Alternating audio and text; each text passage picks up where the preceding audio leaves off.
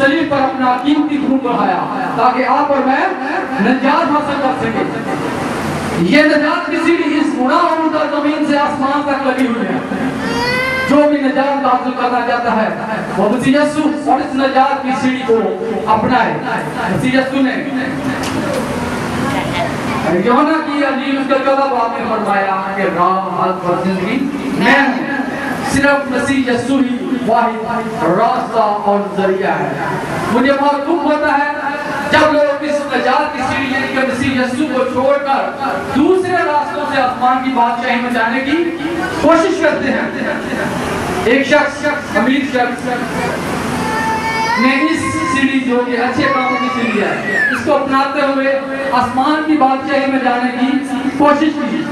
تو مسیح یسوع نے اس شخص کو بتایا کہ تجھ میں ایک چیز کی کمی ہے۔ ایک دولت مند شخص کسی یسو کے پاس آتا ہے اور کہتا ہے، ربی، اے استاد، میں کیا کروں کہ ہمیشہ کی زندگی کا وارث بن سکوں تو مسیح یسو نے اس کو بتایا کہ تو حکموں پر عمل کر۔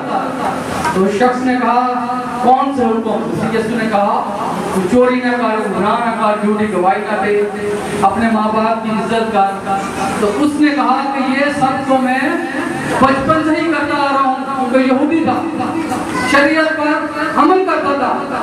مسیح یسو نے کہا پھر تجھ میں ایک چیز کی کمی ہے۔ کہ اپنا مال اور سباب بیچ اور غریبوں میں بانٹ دے۔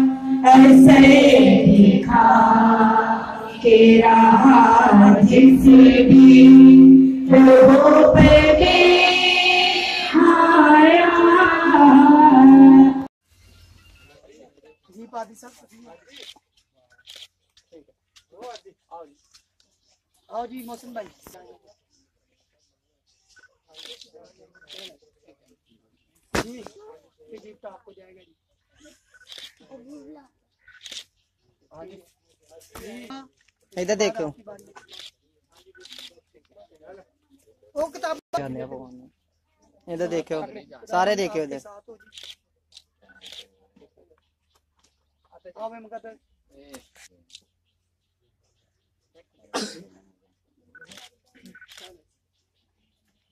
جی چھوٹی ادھر آؤ۔ لینا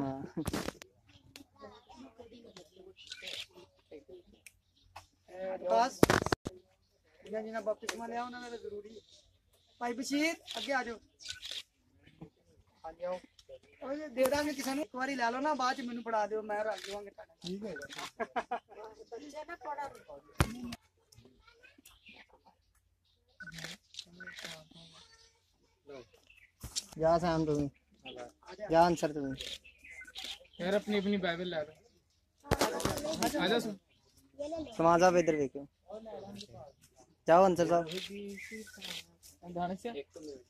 حمزہ صاحب جاؤ۔ کوئی نہیں، ادھی ادھی ہونی۔ ادھر دیکھا سر۔ جاؤ بھائی جو ادھر دیکھو سارے۔ چلو ٹھیک۔ سام دور ہے۔ ادھر دیکھیں۔ چلو جی۔ چل سام چلو راہ صاحب، تہاڈی واٹی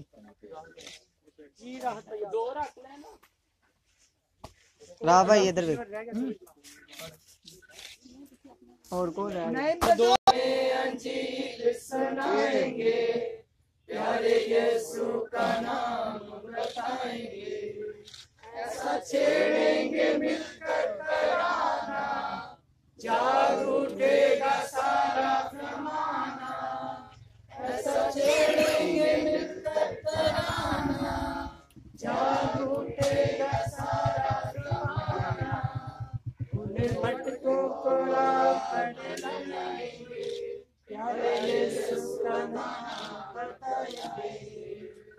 بولو خدا نے یسمسی کی۔ جی۔ بولو خدا نے یسمسی کی۔ جی۔